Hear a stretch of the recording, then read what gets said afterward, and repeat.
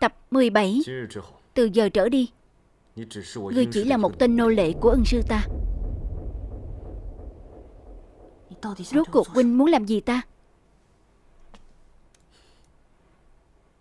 Ta muốn ngươi biến mất khỏi đại đường.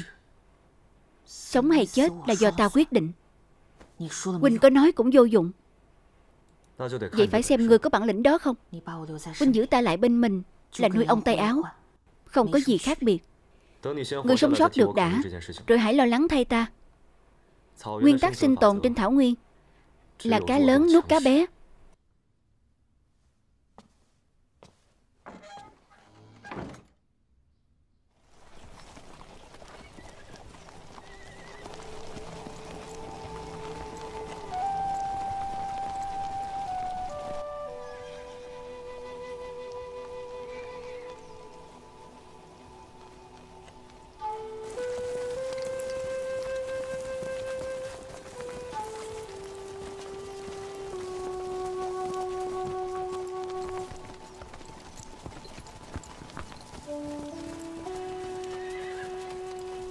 Sau lưng ta Là thành sóc châu đã bị cướp bóc Nhưng lại không có thương vong.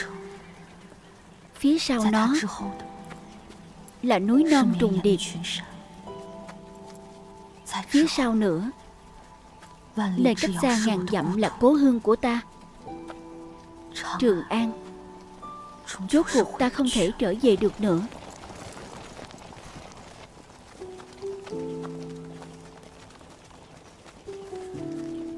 Khi xưa giành vinh quang cho quốc gia Nay lại bị bắt làm tù binh.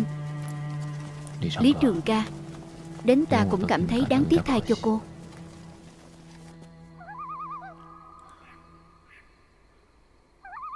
Nhận được lệnh thống lĩnh Ta đã phi ngựa đêm ngày để kịp đến đây. Xin thống lĩnh phân phó. Lập tức bám theo A Thi Lạc Bộ. Ta muốn biết kết cục của Lý Trường ca thế nào? Giết cô ta sao? Nếu cô ta cố kết với A Thi Lạc Bộ Giết nếu không thì sao? Vậy thì A Thi Lạc Bộ Cũng không giữ cô ta. Tuân lệnh. Có tin tức gì Thì dùng bồ câu truyền thư cho ta. Lui xuống đi. Tuân lệnh.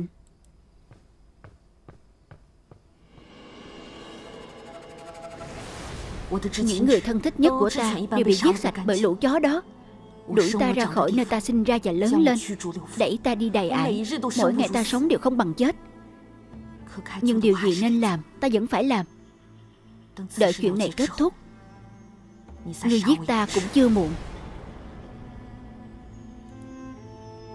Lý Trường ca, Hy vọng ngươi thật sự Có thể hy sinh vì bách tính. Mấy ngày nay Quyện nhà ở các nơi Đều đang âm thầm tìm kiếm tung tích của công chúa. Nhưng mà những bức chân dung được gửi đến Kinh Thành hoàn toàn không giống với công chúa chút nào. Hơn nữa công chúa mất tích ở bốn châu biên giới phía Bắc. Đến nay vẫn chưa hề có tin tức gì. Điện hạ, Vĩnh An công chúa các nhân tự có thiên tướng. Không phải Lý Thuần Phong đã xem quẻ rồi sao? Người nhất định có thể bình an trở về. Mong là như vậy. Mấy ngày nay, ta toàn mơ thấy Lạc Yên và Trường ca lúc nhỏ Hai đứa nó Chơi đùa trong vườn hoa. Ta dãy tay với chúng Nhưng chúng không nhìn thấy. Ta gọi tên chúng Nhưng chúng cũng không nghe thấy. Hơn nữa Chúng càng chạy càng xa. Gần đây Điện Hạ quá lo lắng Cho nên mới nằm mơ. Những giấc mộng kỳ quái như vậy Điện hạ Thần sẽ dặn dò cho ngự thiện phòng Nấu canh an thần dưỡng sinh cho điện hạ. Hai đứa con gái này Liệu có ngày càng cách xa ta không? Không đâu không đâu. Đó đều là nữ nhi và thần tử Thân thiết nhất của điện hạ.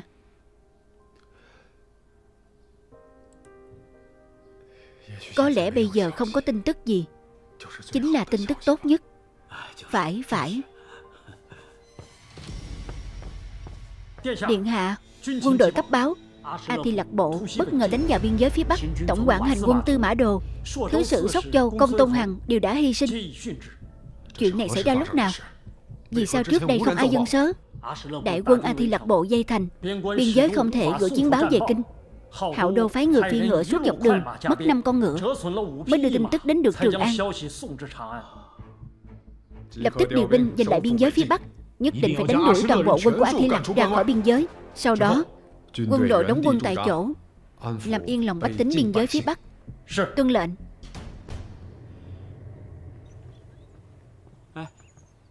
Đỗ huynh. Đỗ huynh Có chuyện này Ta muốn thương lượng với huynh. Phòng huynh trước giờ Luôn là người rất có chủ kiến Tìm ta thương lượng chuyện gì vậy.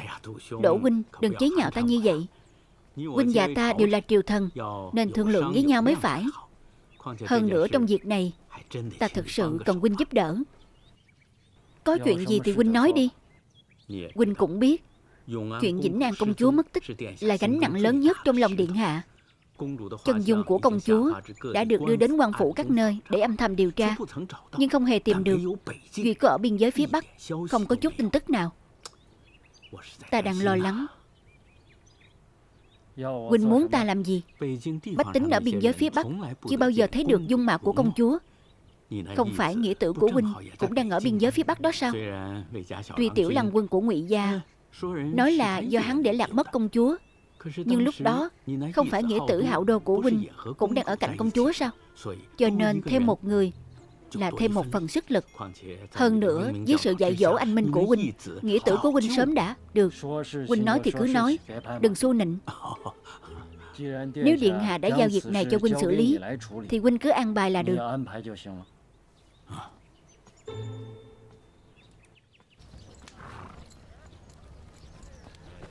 Đúng. Ăn nhiều vào Nào Giữ tên tiểu tử đó lại làm gì? Theo ta thấy, Cứ chém hắn một nhát là xong. Nào, Để đó đi.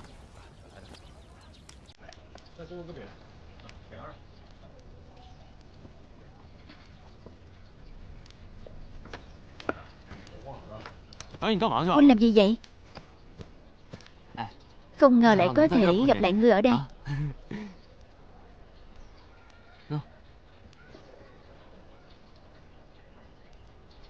Thật ra ưng sư Cách Sóc Châu không xa lắm.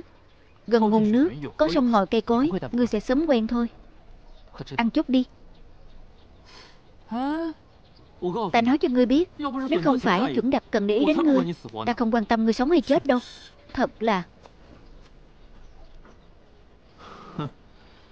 Bằng hữu đó của Huynh Có vẻ không biết điều. Có điều ta thấy Huynh đang phí công sức trên người hắn. Thân thể yếu đuối của hắn đến Thảo Nguyên hay là không chịu nổi không đâu. Sao huynh biết? Hắn là kẻ có sức sống mãnh liệt nhất Mà ta từng gặp. Chỉ những điều này Không quật ngã được hắn. Xem ra Huynh đã hiểu rất rõ về hắn rồi. Nhưng ta thấy đối với hắn Huynh chỉ là một kẻ địch. Không sao cả. Bao nhiêu năm nay ta chưa từng thấy Huynh đối tốt với ta như vậy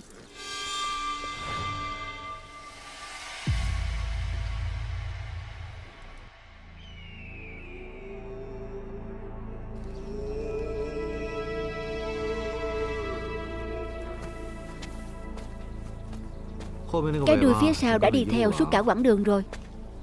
Ta biết. Hắn đến xem thập tứ lan ra sao đó. Giúp ta làm một việc.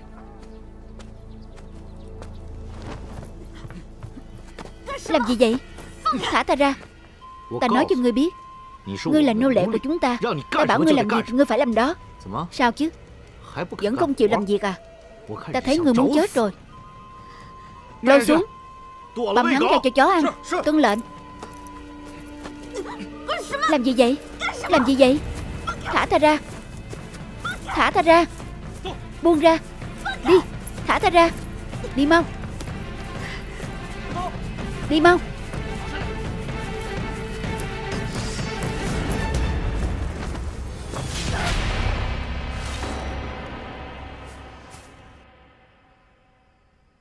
Phim được thuyết minh bởi Iramat Washi TV Việt Nam. Chúc các bạn xem phim vui vẻ.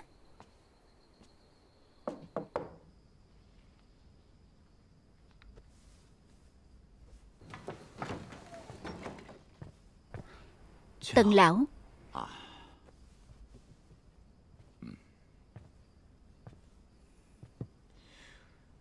Thật là thiệt thòi cho Diên Nương phải theo chúng ta ăn gió nằm xương lâu như vậy? Không thiệt thòi đâu. Nó đã có người cha và người mẹ tốt nhất trên thế gian này. Tình hình Sóc Châu sao rồi? Ta đã nghe ngóng được. Quân của A Thi Lạc Bộ đã rời khỏi đó. Còn lại, Triều đình sẽ phái người đến tiếp quản. Ngoài ra Ngoài ra, Người muốn nói với ta Tin tức về tiểu chủ công sao? Tiểu chủ công hành thích thất bại. Bị giết rồi. Ta biết rồi. Ta biết. Tiểu chủ công. Quá cứng rắn. Quá mạnh mẽ. Nếu như Ngươi đừng như vậy. Ta đoán là tiểu chủ công Vẫn còn sống. Vẫn còn sống sao? Nếu A Thi Lạc Chuẩn có giao ước với thứ sử Hắn nhất định sẽ không giết tiểu chủ công. Chưa biết chừng đã đưa người đến Thảo Nguyên rồi. Vậy chúng ta đừng đợi nữa. Bây giờ chúng ta đi tìm đi. Trên Thảo Nguyên Khắp nơi đều là tai mắt của bọn chúng Đâu dễ dàng để chúng ta ra vào tùy tiện. Sắp xếp thỏa đáng cho Diên Nương đã. Thử dụng mạng lưới tình báo trước đây của chúng ta Xem có thể dò la được tin tức gì không Rồi hãy quyết định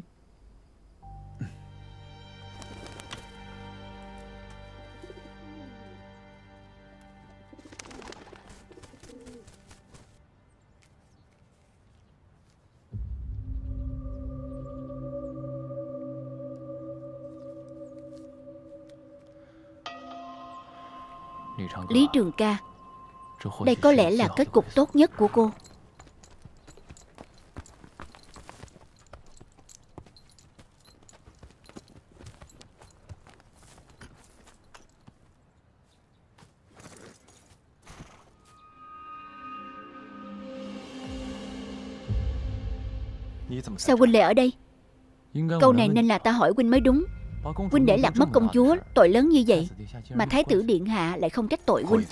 Ta nhất định sẽ tìm được Lạc Yên. Ta đợi Huynh. Lâu như vậy rồi Mà Huynh không về Trường An Huynh đang tìm Trường ca sao? Mùi ấy sao rồi? Chết rồi. Làm sao mà chết? Huynh đã giết mùi ấy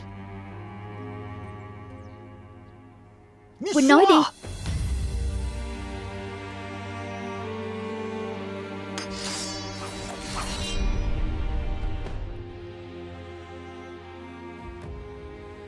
Ngụy Thúc Ngọc.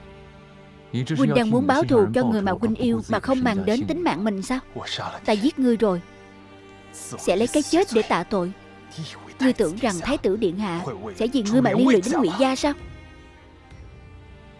Vậy sao ngươi còn không động thủ khi Lý Trường ca còn sống Ngươi không thể làm gì Bây giờ cô ta chết rồi Ngươi lại có dũng khí báo thù. Ta thấy Chẳng qua là ngươi biết Một khi Trường ca đã chết Thì sẽ không liên lụy đến vinh quang của gia tộc ngươi.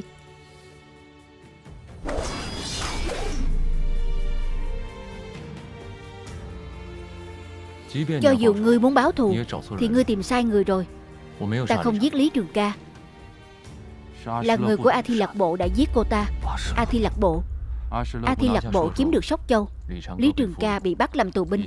Với tính cách cứng rắn của cô ta Ngươi nghĩ cô ta có sống nổi không? Quá ra người cùng hắn đuổi theo ta.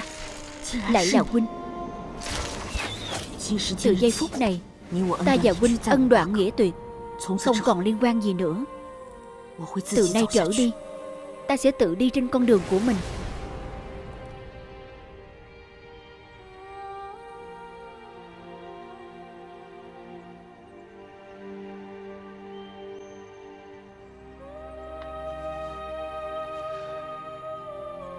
Lạc Yên cho ta tấm bùa hộ mệnh, Có tác dụng gì đâu chứ? Cuối cùng, Ta chẳng bảo vệ được ai cả. Được rồi, Lý Trường ca đã chết rồi. Đừng để công chúa xảy ra chuyện gì. Còn nữa, Ta nhận được thư từ Trường An. Họ muốn ta tiếp tục ở lại biên giới phía Bắc Để tìm công chúa. Quả nhiên, Họ không tin ngươi.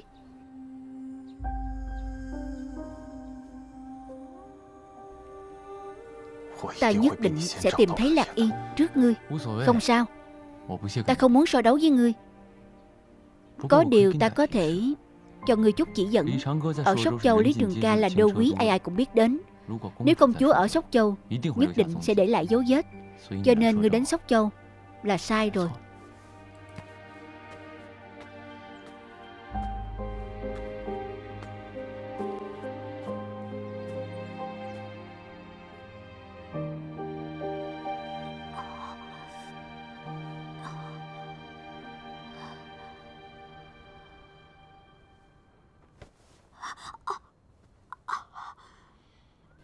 chuyện tối qua là sao? Vì sao chụp giải lên đầu ta? Rồi đánh ta ngất đi. Sao không giết ta đi? Tối qua có một tên nô lệ chết hai ngươi rồi. Lôi xuống Bầm hắn ra cho chó ăn. Tuân lệnh.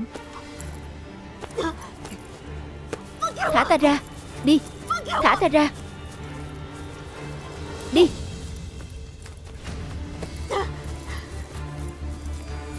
Đi mau. Ngoan ngoãn đi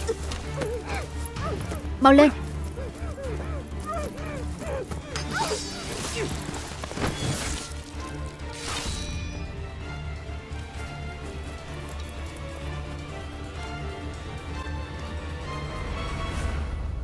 Rốt cuộc Ari Lạc Chuẩn đang diễn kịch gì vậy? Ta cũng không hiểu huynh ấy Nếu đổi lại là ta Ta mất kiên nhẫn từ lâu rồi. Tên nô lệ như ngươi Đang thử thách giới hạn của các binh sĩ ân sư đó không cho ngươi chịu chút khổ. Ngươi thật không biết trời cao đất dày là gì. Trắng trẻo mềm mại như con gái thế kia. Không biết ngươi về đây làm gì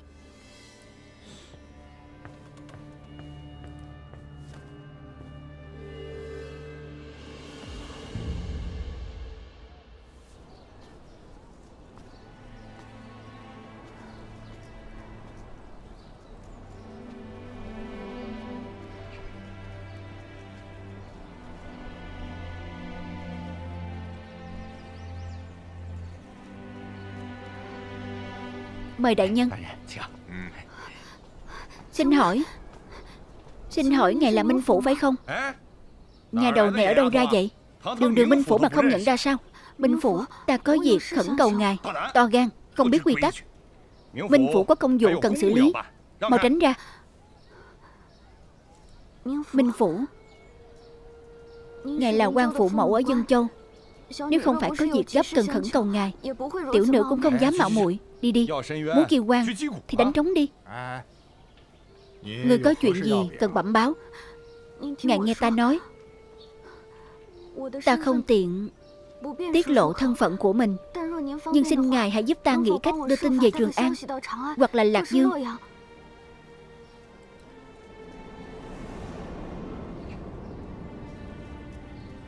Người có thân phận gì? Ta là Vĩnh An công chúa không may bị thất lạc khỏi đám tùy tùng, Sau khi thành bị chiếm đóng ta chạy thoát đến đây, Minh Phủ, Nếu ngài có thể đưa ta về kinh, Bệ hạ nhất định sẽ trọng thưởng cho ngài. Người có bằng chứng gì không? Bằng chứng. Khi bị thất lạc, Ta không đem theo tính vật gì. Nhưng ta thật sự là công chúa được sắc phong. Vậy người có vật tùy thân nào Đem theo từ trong cung không? Đồ trong cung nhìn biết ngay. Đều bị cướp cả rồi. Ngươi biết được thông tin từ đâu? Cũng linh thông đấy. Triều đình đã hạ mật lệnh âm thầm tìm kiếm vị công chúa đó.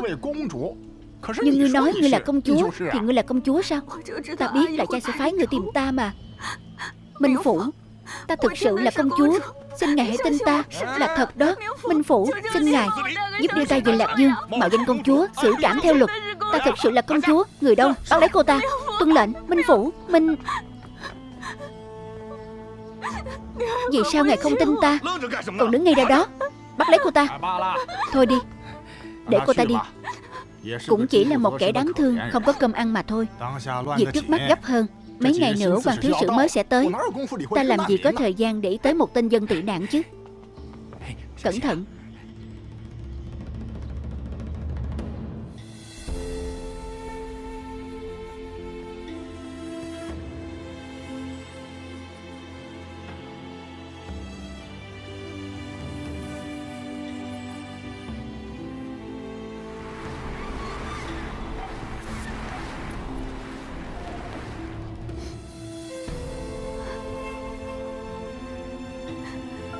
gia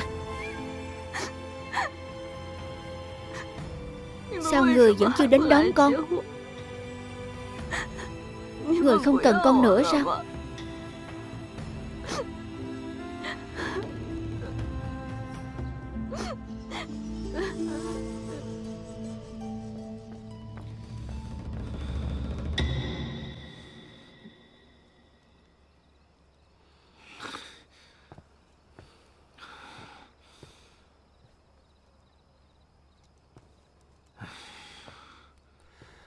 Nếu huynh thừa sức quá mà không biết làm gì Thì ra ngoài chạy về dòng đi. Ta thật sự nghĩ mãi không hiểu Rốt cuộc huynh muốn làm gì Với tên thập tứ lan đó. Khó khăn lắm mới cứu được hắn. Bây giờ huynh lại không quản đến hắn. Mặc cho kẻ khác sỉ nhục. Bây giờ huynh càng ngày càng kỳ lạ đó. Ta càng quan tâm tới hắn Hắn sẽ càng đau khổ. So với việc để hắn hận chính mình Chỉ bằng để hắn giận ta đi Quả nhiên là huynh rất lạ. Có phải hắn đã bỏ bồ mê vì huynh không? Hay là ta tìm du y xem bệnh cho huynh? Ta thấy huynh cũng muốn đi dọn phân ngựa rồi đó. Dọn phân ngựa gì chứ? Dù gì ta cũng là quân sư của ân sư. Huynh không thể nể mặt ta sao? Hắn buộc phải dựa vào sức mạnh của chính mình Để đứng vững trong ân sư. Sẽ có lúc ta không để mắt tới hắn được. Không phải hắn chỉ là một người trung nguyên. Có đầu óc thông minh thôi sao? Đáng để huynh làm vậy à?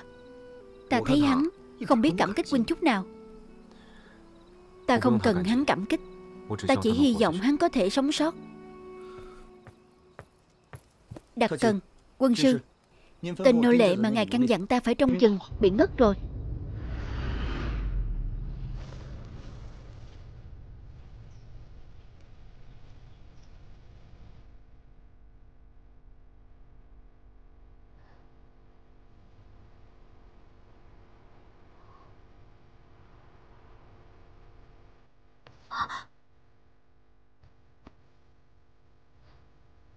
Ngươi hết lòng lo lắng vì sốt châu?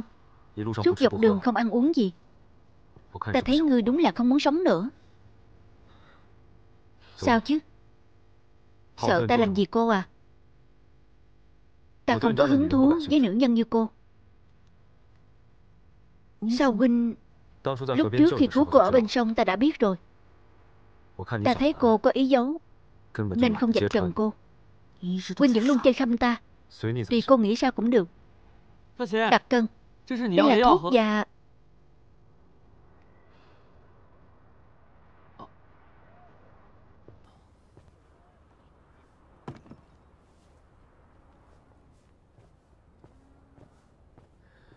Dương Y nói cô lo lắng quá thành bệnh. Khi huyết không lưu thông. Nếu cô không muốn chết Thì uống thuốc đi.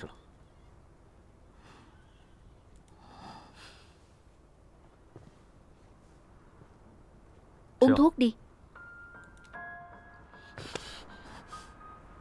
Lý Thập Tứ Ta không ngờ cô yếu đuối tới mức này. Ta đã thực hiện lời hứa của ta Không giết hại bách tính Sóc Châu. Bây giờ tới lượt cô rồi. Cô đừng quên Mạng của cô giờ là của ta. Thật nực cười. Huynh lại bắt một người Trung Nguyên bán mạng cho Huynh. Chi bằng giết ta luôn đi. Đỡ để lại hậu quả sau này.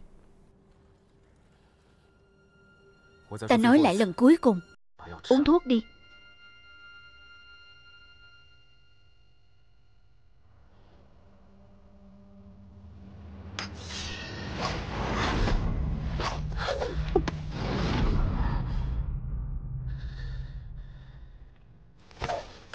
Cô chỉ biết dùng cách này để giải quyết vấn đề sao? Như vậy còn tốt hơn cuộc sống ta nhẫn nhục như bây giờ. Mạng của ta nằm trong tay huynh Hạ tất sỉ nhục. ta như vậy. Sỉ nhục. Ta chỉ không muốn cô chết một cách dễ dàng như vậy. Thập Thúy Lan, Ta khuyên cô nên nghĩ cách để được sống tiếp. Cho dù là sẽ gì cố nhà cô giết ta, Có ngày có thể báo thù cho công tôn hằng. Báo thù. Phải. Báo thù. Mối thù của công tôn hằng, Mối thù của quân dân Sóc Châu Chẳng lẽ cô quên sao? Công Tôn Hằng thật nực cười. Lại phó thác mọi sự cho một kẻ yếu đuối như cô. Nếu ta là cô Ta sẽ nghĩ cách để đứng vững trong ưng sư Bằng mọi giá giành được sự tín nhiệm từ đối phương Chờ cơ hội giết sạch quân giặc. Nếu cô thực sự muốn xứng với sự phó thác đó Thì hãy cắn răng mà sống tiếp đi.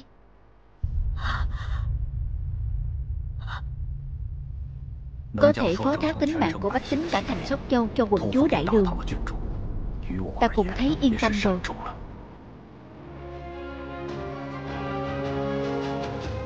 Trong thành có cả giảm hộ gia đình. Ta không thể phụ họ. Ta chỉ đành phụ thê tử nhi nữ của ta. A Đậu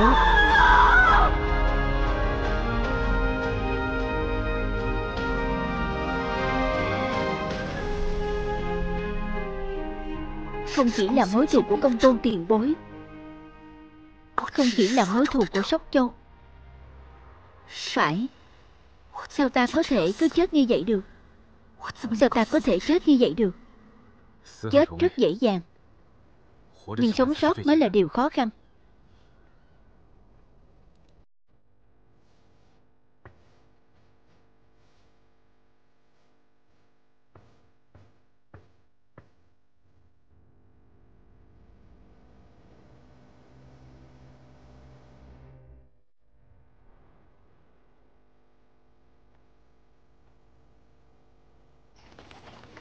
Đi.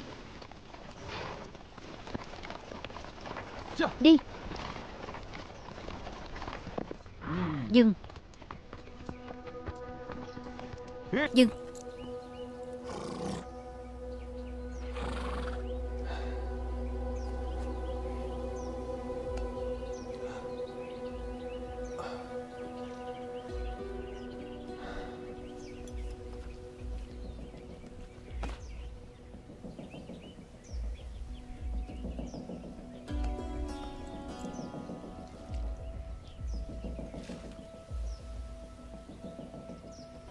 Đi. Đừng đi bên đó. Ta vừa từ bên đó qua đây. Yên Nhi không ở đó. Đi bên trái. Đến Dương Châu. Đi. Đi.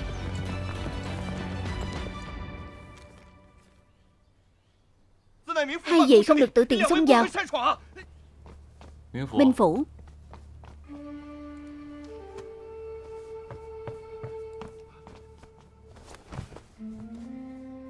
Tại hạ phụng lệnh của Thái tử Điện Hạ Đến tìm công chúa Muốn dụng người của ngươi. Làng quân có cần gì phân phó Xin cứ nói. Lập tức sắp xếp người Đến các điểm có dân tị nạn Để tìm nữ tử trong bức hình này. Tuân lệnh.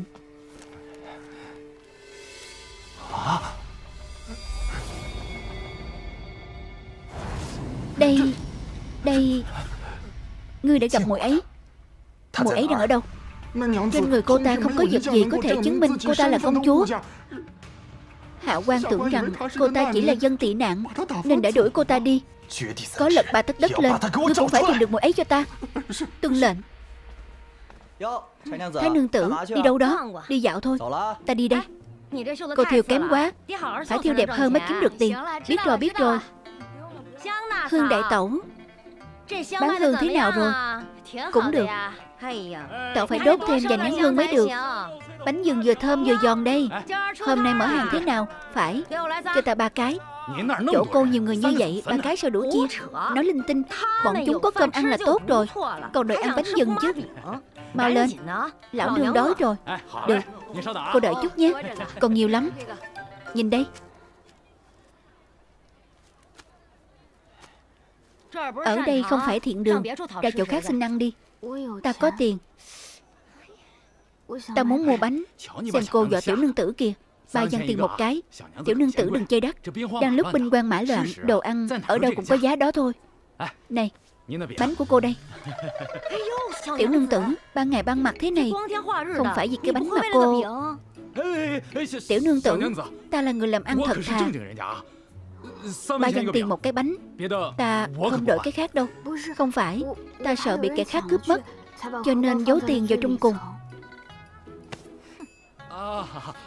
Được.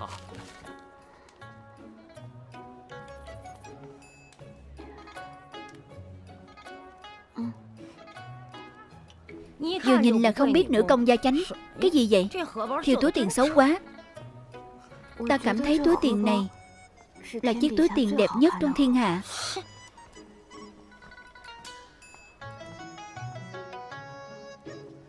Được Xin đợi chút.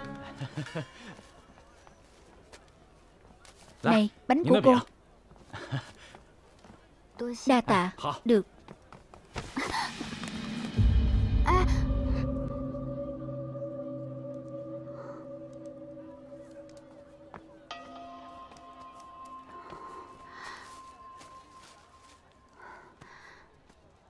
Xin lỗi, xin lỗi. Không sao. Trước đây ta từng ăn những đồ bẩn như thế này. Nếu tiểu đệ không chê Chia. cho đệ một nửa. Ta chia cho đệ cùng ăn. Ta không có ác ý. Những năm này Người lương thiện thì bị ức hiếp. Tiểu nương tử còn không mau nhìn lại túi tiền của mình đi. Còn muốn chia đồ ăn với nó? Đúng là ngốc nào, xem đi. Túi tiền của ta. Túi tiền của ta. Đứng lại. Đứng lại. Túi tiền của ta. Túi tiền của ta. Đứng lại. Đứng lại.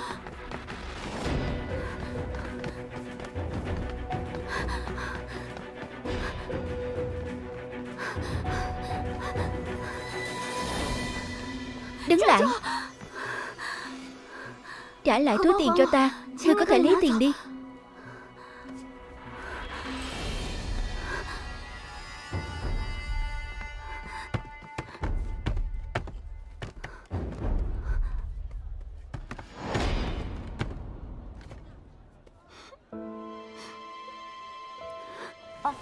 Đúng rồi, Cái này cho muội.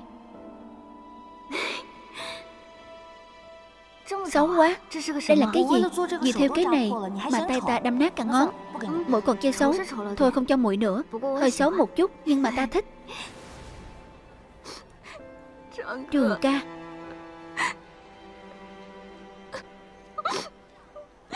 Tỷ đang ở đâu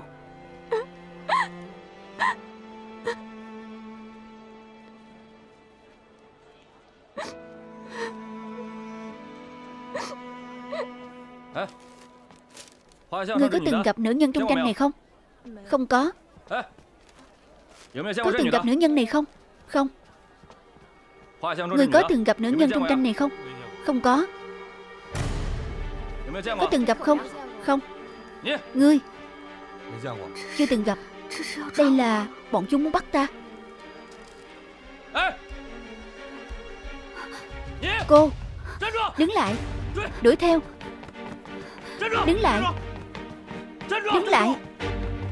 Đứng lại. Không được chạy. Mau đuổi theo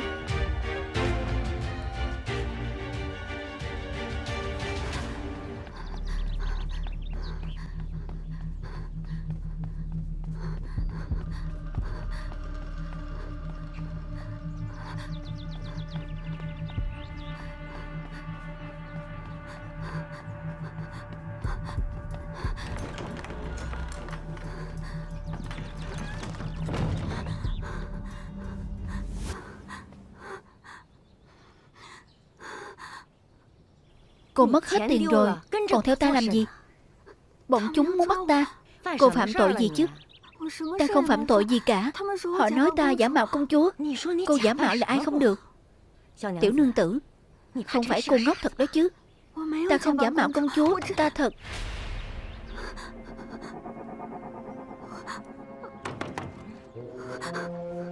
Mở cửa. Mở cửa Tới đây tới đây. Phá hỏng cửa nhà ta có đền nổi không? Ban ngày ban mặt vội vàng gì vậy? Gõ cửa nhà người ta muốn mua giải sao?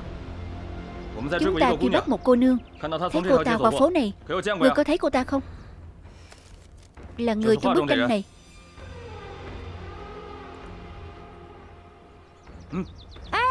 Có gặp có gặp. Cô nương này Vừa nãy bị cướp mất ví tiền ở trên phố Cô ta đuổi theo tên trộm chạy về phía nam rồi. Quan gia Tiểu nương tử đó phạm tội gì? Không phải là đạo tặc chứ. Chỗ chúng tôi không thể yên tâm làm ăn được.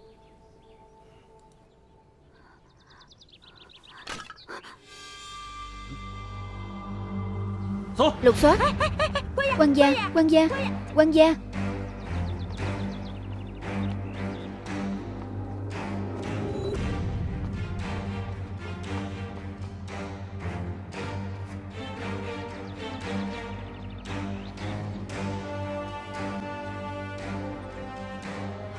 Sao vậy? Không biết. Có chuyện gì vậy?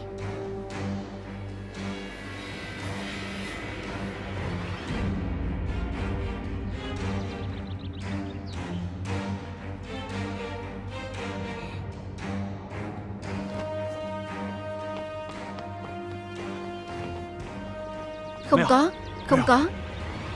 Bên đó cũng không. Ta nói này quan gia. Ta nói là không có mà Phường giải chúng ta còn phải làm ăn nữa. Ngài dẫn binh đến đây lục soát như vậy Ảnh hưởng không tốt đâu. Được rồi. Lần sau gặp người này Nhớ phải thông báo cho ta. Nhất định nhất định. Đi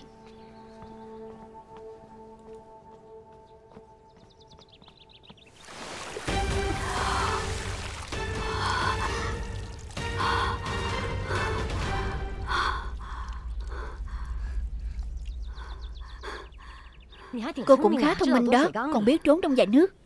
Đa tạ nương tử. Ta còn tưởng cô không muốn cứu ta. Được rồi được rồi. Ta thấy cô không phải là người xấu. Đám quan phủ này cũng thật nhàn rỗi. Giả mạo công chúa thì giả mạo. Có đáng không? Nương tử Ta không giả mạo. Ta thực sự là công chúa. Được rồi. Cô là công chúa cũng được. Chủ công cũng được. Chỗ ta bận lắm. Mau đi đi.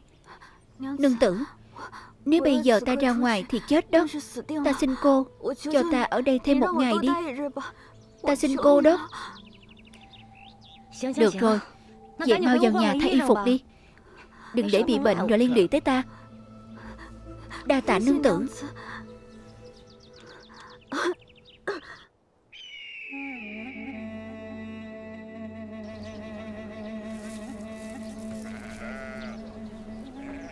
Quá ra nơi này chính là Thảo Nguyên. Thật sự vô cùng mênh mông rộng lớn. Đại nương tôi Y Lệ, Còn phô mai không? Nhớ để cho ta nhiều một chút, Có. Lát nữa người qua liều của đại nương ăn thỏa thích. Đặc cần, Ngài có chuẩn bị quà cho chúng ta không? Có. Ai cũng có. Á la. Đặc cần, Số thuốc lá này đã phơi khô rồi. Ta mang đến đây cho ngài. Ngài xem thế nào. Cũng được. Đặc cần Ngài xem. Tự xem đi. Wow Ta muốn cái này. Cái này đẹp. Ngươi xem này. Ta xem. Nhị thúc. Phần thưởng của con đâu? Phần thưởng của con đâu? Đứng yên đứng yên nào. Nhắm mắt lại. Nhắm mắt lại đi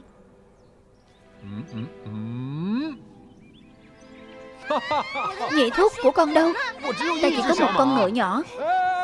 Được. Con mà giới được thì ta cho con. Cha, cho con đi. Cho con.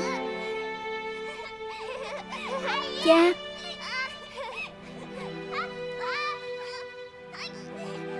Nhị thúc Cha không được như vậy. Cha.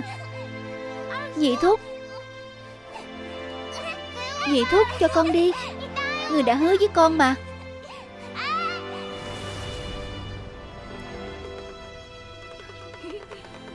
Nào ta giúp ngươi. Khá lắm. Vui quá. Không phải ngươi đá cầu rất giỏi sao? Cái này cho ngươi. Ca ca cho chúng ta mượn quả cầu chơi đi.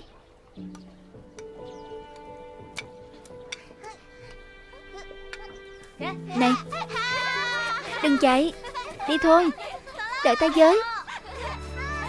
Từ từ thôi. Đưa ta. Không đưa. Ta thay họ lấy qua về đây rồi. Cầm lấy. Vậy ngươi cầm giúp hắn đi.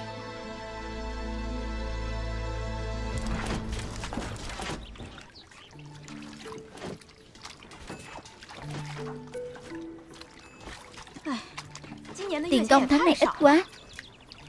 Trương nương tử, Cô biết thỏa mãn đi. Ít ra chúng ta còn có kế sinh nhai. Không chết đói là tốt lắm rồi. Nói cũng phải. Mấy cái máy này càng ngày càng khó dùng. Phải đó.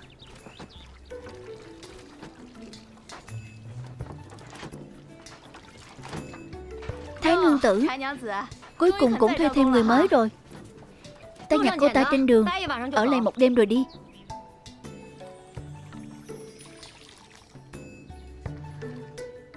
Bái kiến các vị nương tử. Nhìn cái gì, nhìn cái gì? Mau làm việc đi.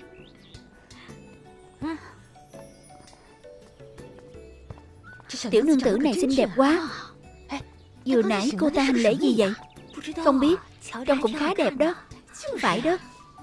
Bái kiến các chị nương tử. Không phải như vậy là thế này. Không phải Học theo cô ta mà. Cô chịu khó ở đây cùng mọi người. Ngày mai mau đi đi.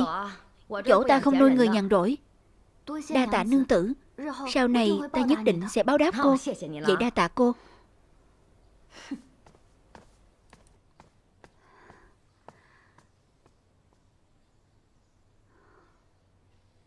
Sau này ta phải làm sao?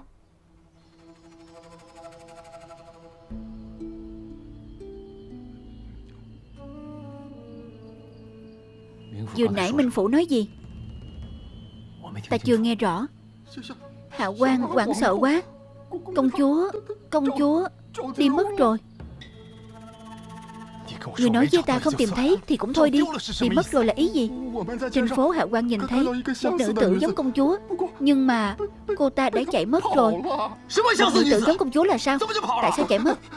Lăng quân Hạ quan sẽ tiếp tục tìm. Nhưng công chúa Công chúa có chân? Bây giờ công chúa còn ở dân châu không? Cũng cũng không biết. Người còn dám đùn đẩy trách nhiệm Dạ Hạ quan sẽ tiếp tục tìm. Ngày mai ta đi tìm Cút